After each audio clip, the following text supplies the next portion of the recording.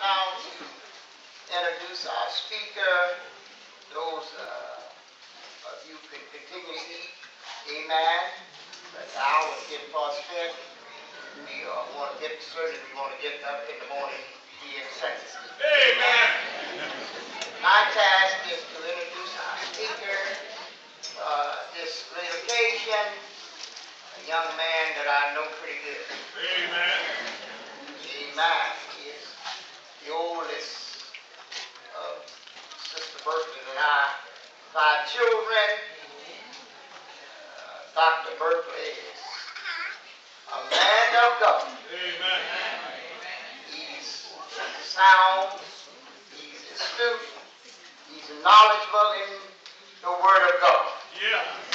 Amen. I can sit up and tell you a whole lot of things about him, but most of y'all are be here know him uh, see him sometime. He's on the TV talking about the Adventist Center. Amen. He holds uh, three degrees from Baylor University. All right. He teaches there on Fridays. Amen. And, I am proud of the peacock of this young man. All right. All right. Amen. He's a chip off the old block. He is proud pastor Ebenezer Christian Baptist Church, and been recently elected as moderator All right. of the second best district in Central Texas. Amen. Amen. Amen. Amen. Amen. Amen. I give you now, will you elevate your right hand and receive uh, my oldest son, Dr. Kerry Lamar Berkley Sr., proud pastor of the Great Ebenezer Baptist Church, moderator of the Union Baptist District Amen. Association. Come, son, say a word. Son it up. Amen. God bless you. Amen. He paid you pretty good, say that. All right. Let me first say thanks be unto God for his goodness and his mercy, and to uh, this uh, moderator, Olan, vice moderator, Dr. Malone, and Bishop Cabinet, President Shiloh, in his absence, and all the dignitaries uh, grace this wonderful association of Good Hope Western District Association. My father, uh, Pastor Kevin Burton Sr., and my mother here. We are delighted to always be in fellowship with them. Uh, God be the glory for those who are responsible for this wonderful occasion, and you have done all of these years. Uh, This scholarship banquet that has had historical meaning for the Good Hope Western District Association. Uh, And I will say uh, that years and years ago, uh, I was a recipient of uh, this scholarship, and I'm grateful uh, for the investment that, uh, that the good folks of Good Hope uh, made uh, in me.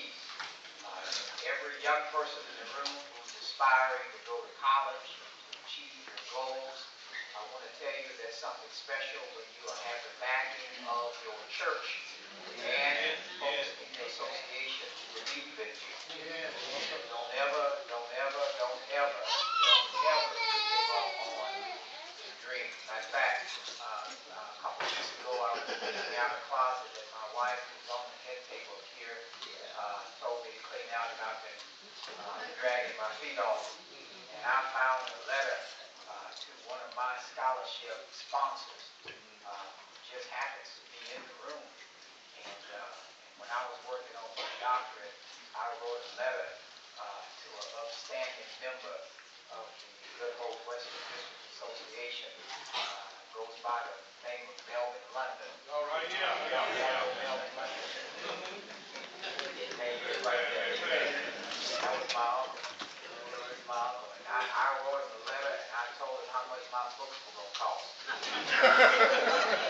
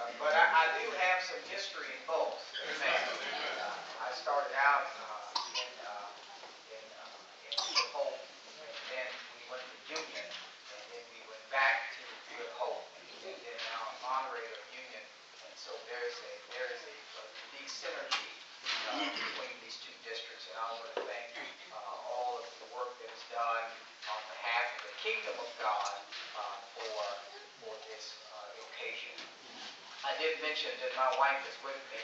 Uh, we are celebrating. We are celebrating always. Uh, we are in year number 21 of honeymoon.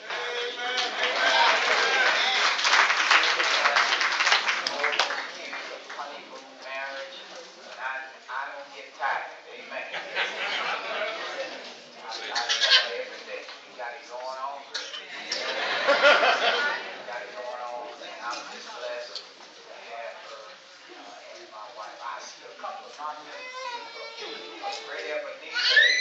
Stevens, Sister MacDowell over here, Sister Maggie Ross, my secretary. God bless you both for coming out and being a part of this. I always like to pause and thank God for the great members at the uh, Greater Ebenezer Baptist Church. The family is more than worth Now, they didn't tell me how long I had, but it's 9 o'clock. And since I know we got the building to 11, I figure I'll give y'all about an hour and a half sermon.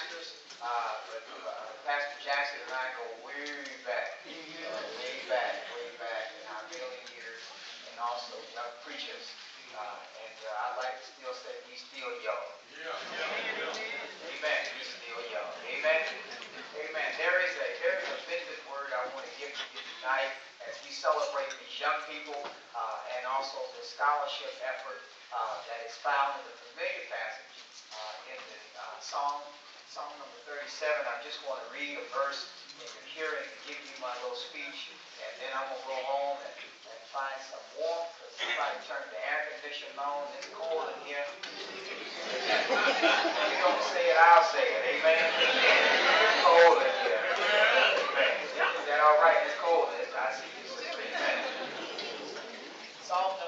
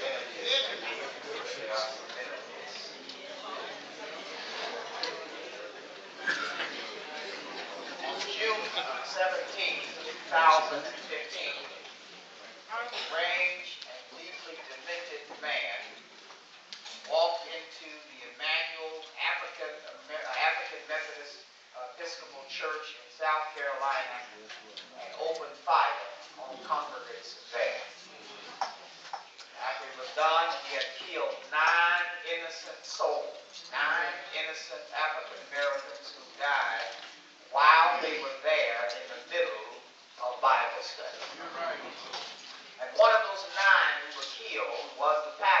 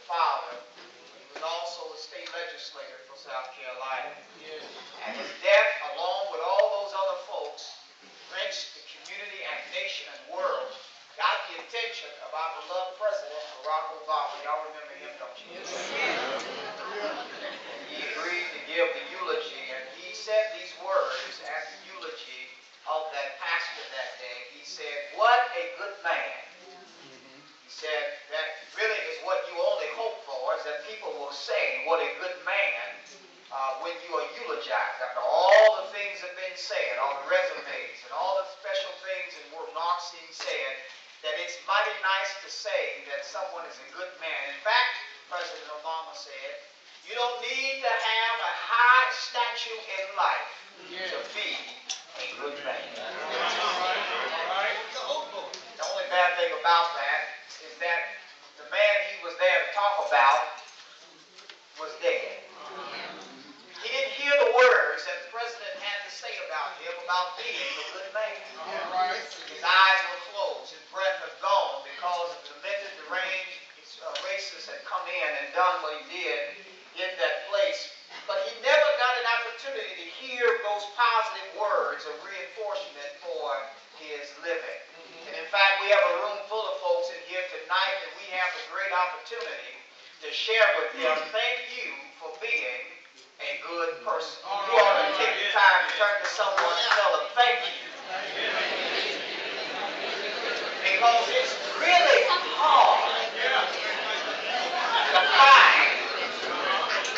good person. work. Everybody know what I'm talking about? It's hard to find a good person because you, you really need to understand you can you can do good things, but that doesn't make you a good person. You can be a wealthy person, but that doesn't really make you a good person. You, you can be someone who's well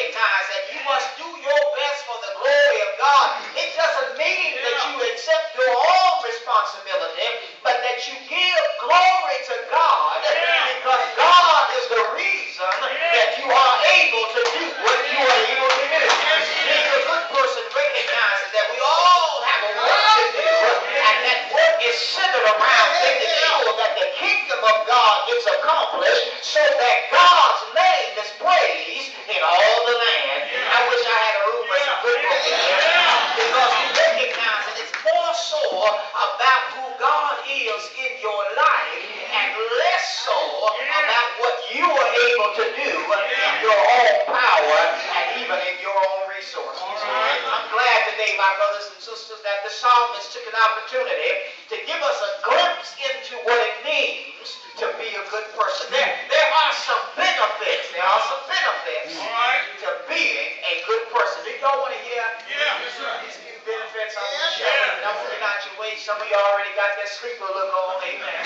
good, the sausage was good, amen, and potato salad looked like it was yummy, the green beans were excellent, but it's time for me to just unpack this and then go to my seat, amen? Amen. Look at somebody and say, there's some benefits. There's some benefits. There's some benefits. There's some benefits. For being good. For being good. But the first thing I want to tell you tonight is that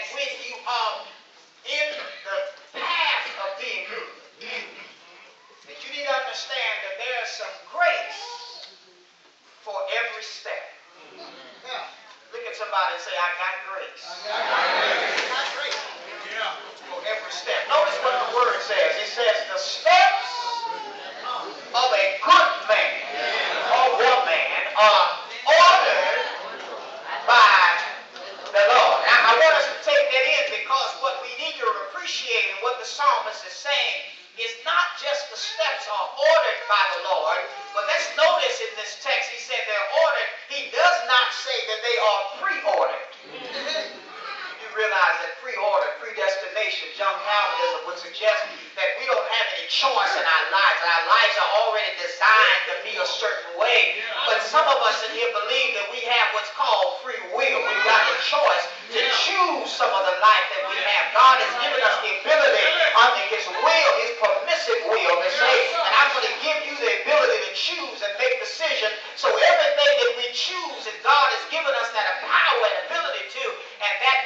steps are not preordained.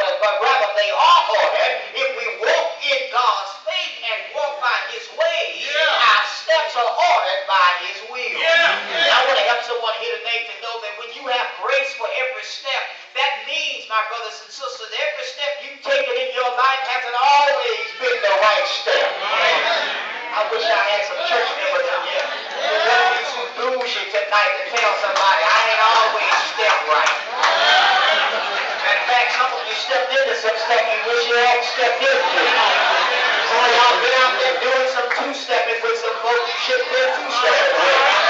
Listen, I, I know the church in here, but we need to keep it real tonight. And that's what I take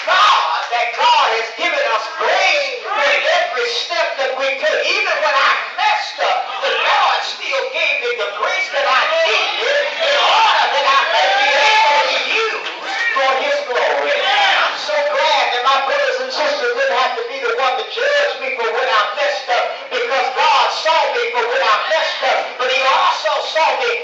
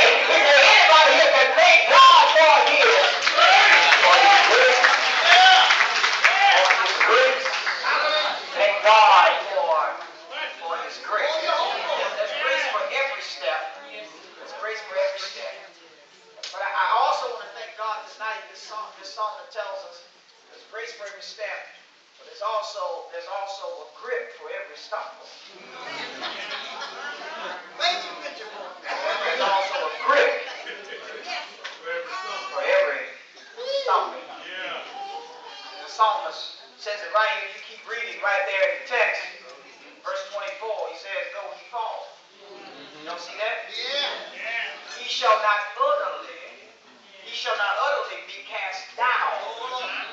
Although he's down there for a while, he won't stay down. Always.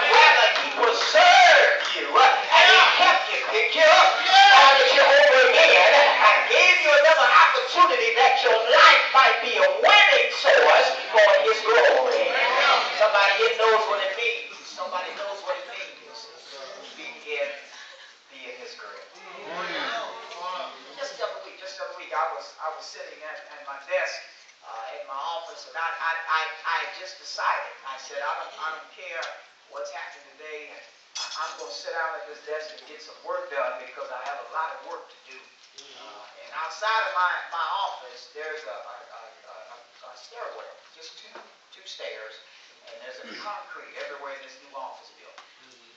And uh, I'm just minding my business, sitting there listening to my classical music on Pandora, amen. And, uh, and all of a sudden, out of the peripheral of my vision, I hear a thud. And I look at my coworker had fallen down the stairs. And I, I just made up in my mind. I said, I'm not going to let anything bother me today. Everybody have things like that. Yeah shock and do your job, and something get you before you hit the door. Amen. And I just, I didn't want any drama. I just wanted to sit there at my desk and do my work. But here it is. She had fallen down the stairs and had uh, hit the, the cement floor. Just a big splat. Mm. It was just shocking. So I get up and I say, Are you okay? Are you all right over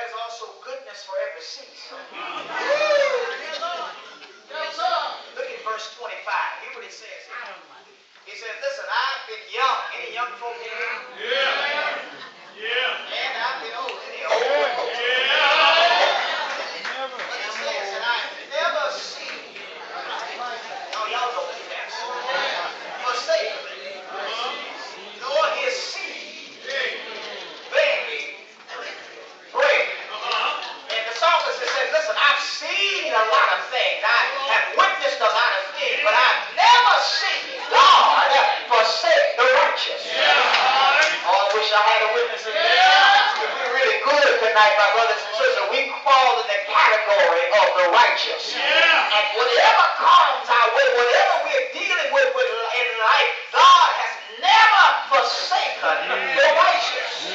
He never forsaken. He never leaves us unattended. He never forsakes us and not give us an out for what we're going through. He never leaves us alone because God always sees about his children. You are in the righteous, my brothers and sisters. That means God has got us covered. God, God has got our resources. God has got our avenue of success. God has all that we have because He is a God that nurtures and cares for His righteous. Is there anybody here can thank God tonight that you are in the category of righteous?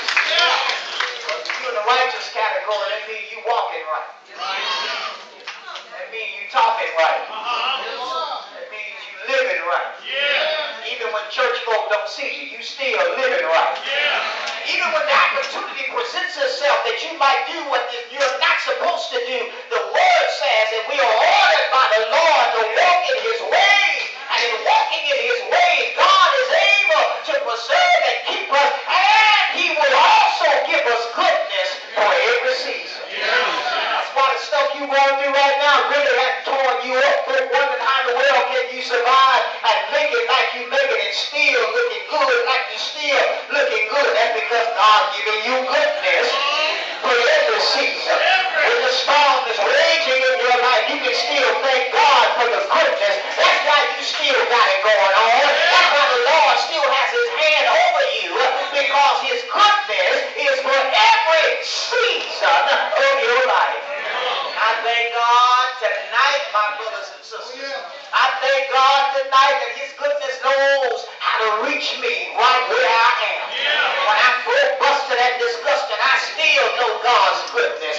Even when folk don't like me because of who I am, still give me goodness. Even when folk try to shut me out of some places and lock me out of where God has destined me to be, I thank God for His goodness. Even I walk in the room and folks start talking about me, and it ain't all good. I can still thank God for His goodness. I have folks who dig spiritual ditches all around me, but I thank God that He walks with me even through the valley of the shadow of death, and I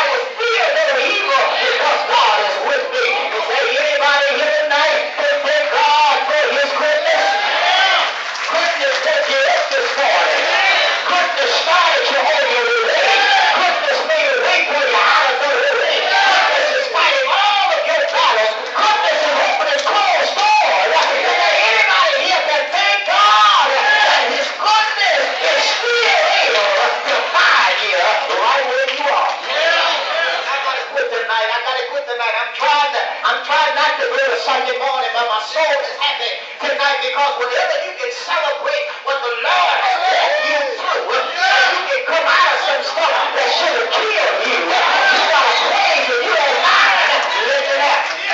Somebody said, I gotta praise, I gotta praise, and I gotta praise, I gotta let it out because